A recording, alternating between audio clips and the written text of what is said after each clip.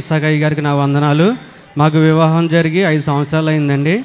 అయితే రెండు వేల ఇరవై రెండులో తాడేపల్లిగూడెంలో డిసెంబర్ నెలలో అయ్యగారు చెప్పారండి మాకు దేవుడు గర్భఫలాన్ని ఇస్తున్నాడు పో అని చెప్పారండి.